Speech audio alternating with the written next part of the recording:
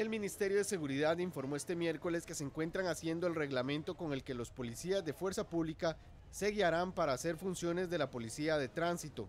En el sindicato ANEP consideran que esto puede poner en riesgo la seguridad ciudadana y que podría causar daños en la imagen de los policías.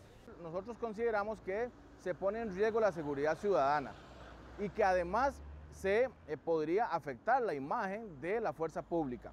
Por lo siguiente, eventualmente las personas ante una situación de infracción a la ley de tránsito van a solicitar que la fuerza pública intervenga y no necesariamente tienen las competencias los compañeros para hacerla y además podría descuidarse la seguridad ciudadana, como dije antes.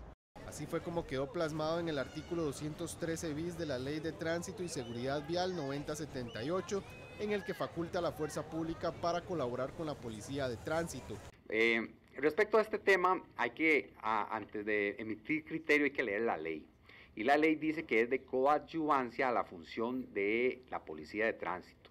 No dice que los oficiales de, la, fuerza pública o las del ministerio anden haciendo partes todo el día o anden este, atendiendo accidentes todo el día, sino que es de coadyuvancia, que en la, en la circunstancia de que la policía de tránsito por algún motivo no pueda, este, eh, nosotros les colaboraríamos.